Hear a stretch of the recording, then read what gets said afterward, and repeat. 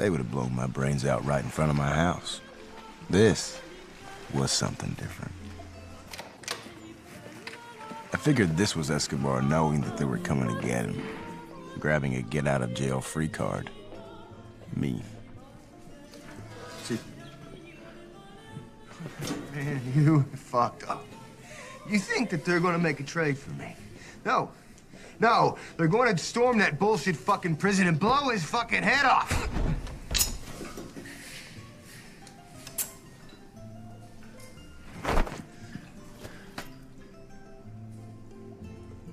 Sorry you were taken against your will, but I knew you wouldn't meet willingly, even your last meeting with Navegante.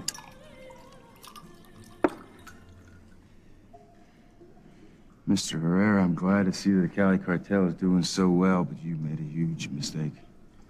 I don't see it that way. I know you like whiskey, but I'm taking the liberty of making you a cocktail. I just learned how to do a really interesting passion fruit daiquiri. It's wonderful, but I don't want your fucking daiquiri. You're free to leave anytime. We are a long way from Bogota. I'm leaving. Show myself out. I thought you might like to see some pictures I have.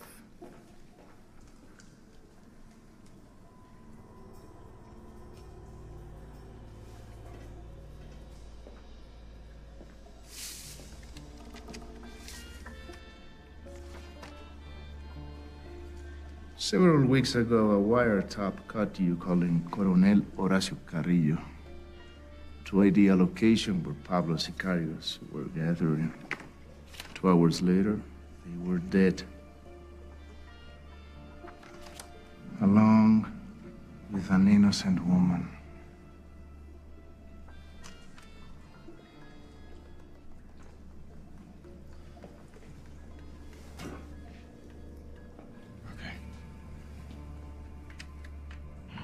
Boys will be a lot of Smasaria around midnight with this crew.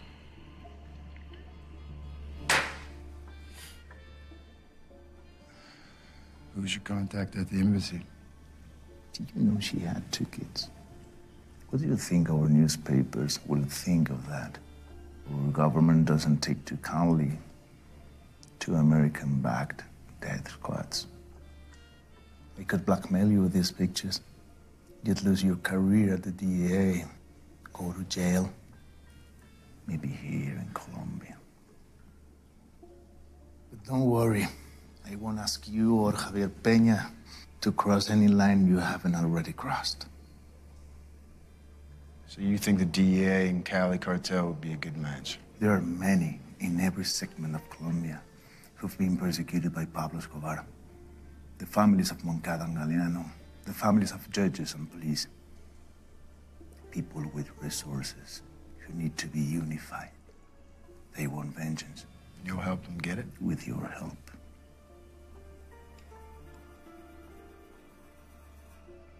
Can't make any commitments right now. But I can tell you this. When Pablo goes down, and he will go down, you'll hear a knock at your door, and it'll be me.